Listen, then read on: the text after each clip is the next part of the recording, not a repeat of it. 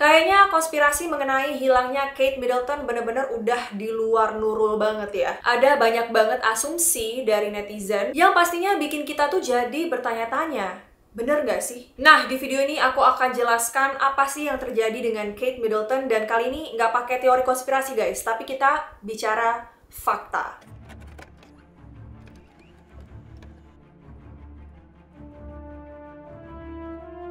Hai guys, it's Rita and welcome back to Cerita. Yap, di video kali ini kita akan membahas tentang Princess Kate Middleton, tapi sebelum kita lanjut nih ke teori konspirasi dan juga fakta terbaru tentang Kate, aku akan bahas sedikit profil tentang Kate Middleton. Tapi sebenarnya aku udah pernah bahas tentang dia di video yang ini guys.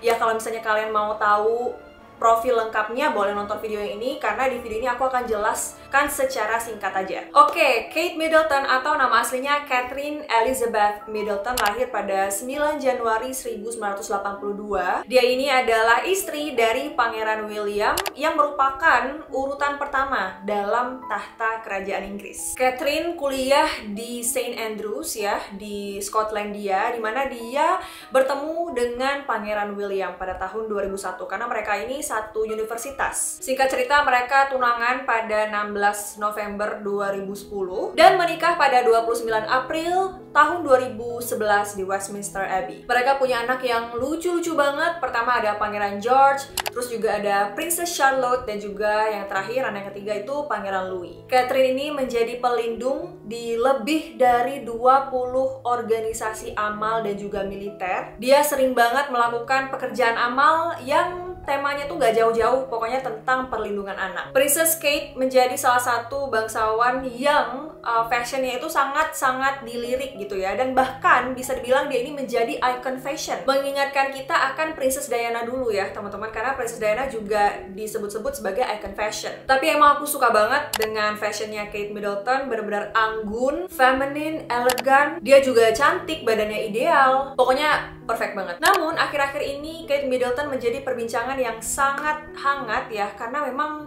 dia ini menghilang udah beberapa bulan guys. Jadi terakhir kemunculannya di publik itu adalah pada 25 Desember yaitu pada hari Natal waktu dia lagi jalan ke gereja bersama suami dan tiga anaknya untuk merayakan Natal pastinya. Kemudian dua minggu setelah perayaan Natal ya tepatnya pada 16 Januari 2023 dia dikabarkan masuk rumah sakit. Sebenarnya Kate masuk rumah sakit ini udah aku spill juga ketika aku membahas uh, Raja Charles itu kena kanker ya. Di video itu aku sebutkan juga kalau Kate Middleton itu operasi perut. Nah cuman nggak tahu nih dia operasi perut tuh operasi apa. Cuman dijelaskan itu di media kalau dia mengalami abdominal surgery gitu. Jadi ada operasi di perutnya cuman kita nggak dikasih tahu ini operasi apa tepatnya nah ada yang bilang kalau dia itu menjalani histerektomi atau pembedahan mengangkat sebagian atau seluruh rahim.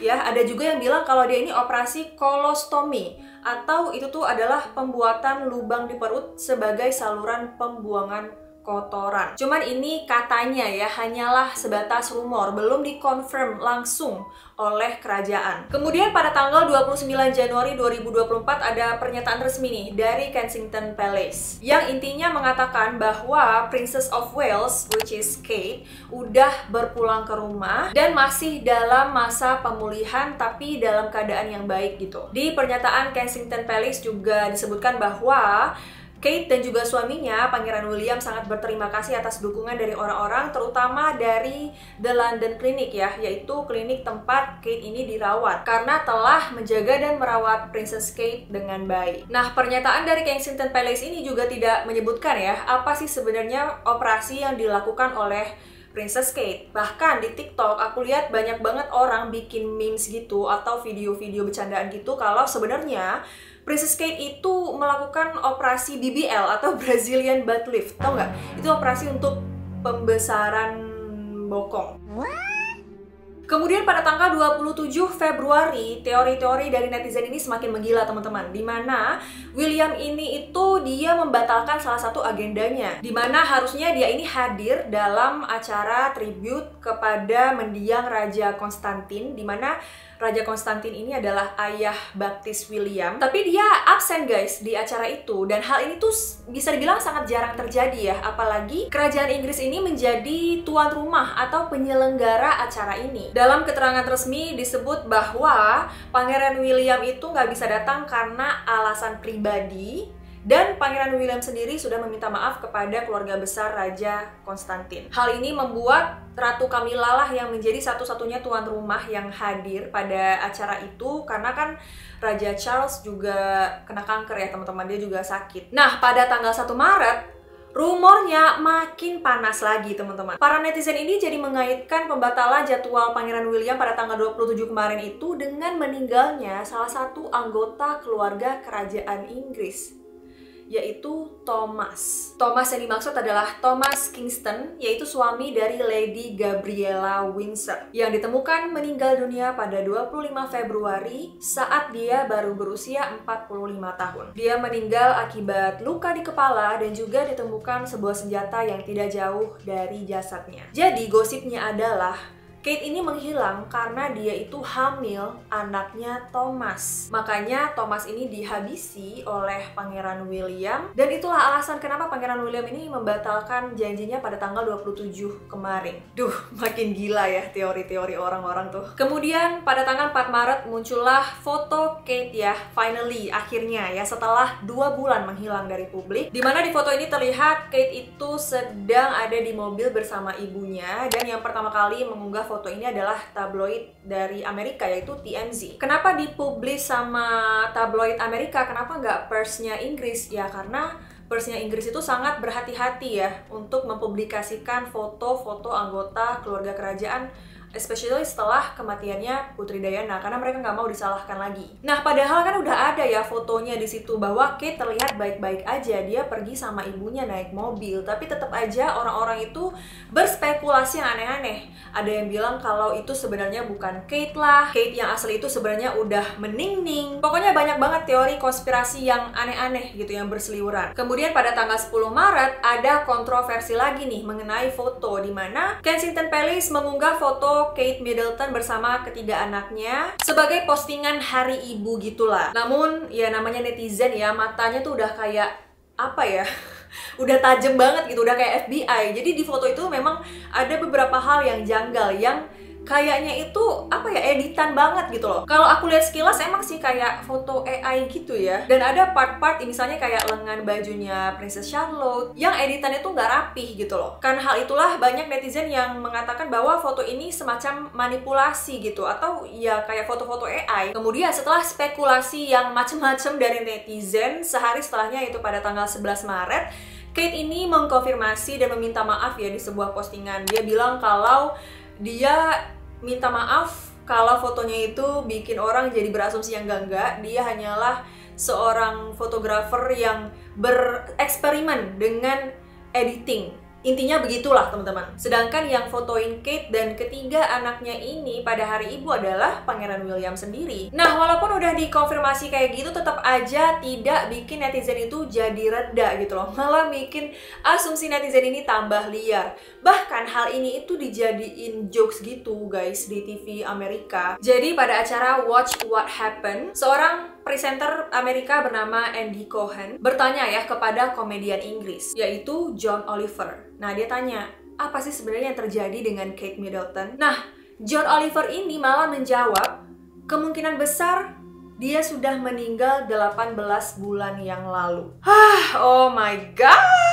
Oke, tadi aku udah jelasin ya mengenai kronologi hilangnya Kate Middleton. Sekarang mari kita bahas kabar terbaru dari Kate Middleton. Jadi beredar video terbaru ya mengenai Kate Middleton dan Pangeran William yang akhirnya menepis segala teori konspirasi yang ada. Di mana di dalam video tersebut tampak kalau Pangeran William dan juga Kate Middleton ini berbelanja di The Windsor Farm Shop. Video amatir tersebut berdurasi 40 detik dan dipublish pertama pertama kali oleh media namanya The Sun. Tampak William dan Kate ini berjalan sambil menenteng belanjaan. Saksi mata mengatakan bahwa Kate terlihat bahagia, sehat, di mana dia memakai uh, jaket warna hitam dan juga jeans ketat dan sesekali tersenyum sambil ngobrol-ngobrol sama suaminya yaitu Pangeran William. Tapi ya namanya juga lagi-lagi netizen maha benar gitu ya.